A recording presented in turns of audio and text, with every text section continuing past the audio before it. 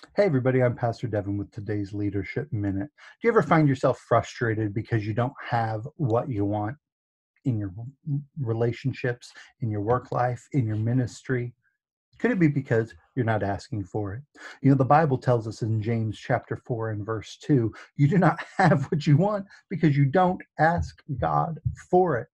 You know, it's okay to ask, whether it's asking for some time to do something that's a hobby or a personal interest with your spouse, saying, Hey, I just need a little bit of me time or refreshing time, whether it's asking for time off from work because, hey, you earn that vacation time, whether it's asking for help in an area of ministry, volunteers, contributions, whatever it may be or whether it's in your personal life and talking with God and asking Him for wisdom, direction, favor, help, on a project, it's important that we realize that we do have to ask.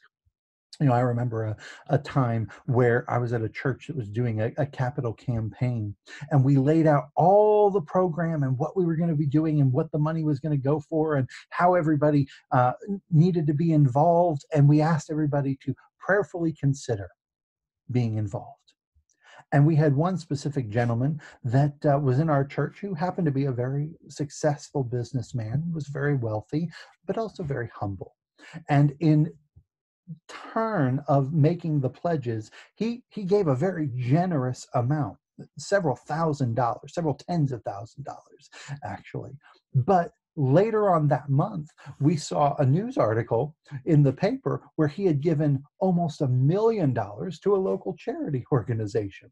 And here we were struggling to try and fund this campaign for his church that he was involved in, he was part of, he was faithful to attend.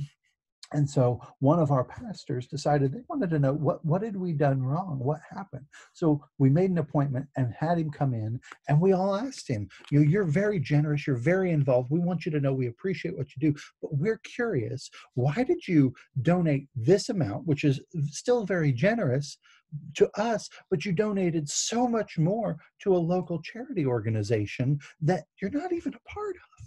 We're just curious. What what did we what did we miss? And none of us will ever forget as long as we live his response. He sat right there in front of us and he said, They asked for it and you didn't. You have not because you ask not. I'm Pastor Devin with today's Leadership Minute, and I hope you have a great day.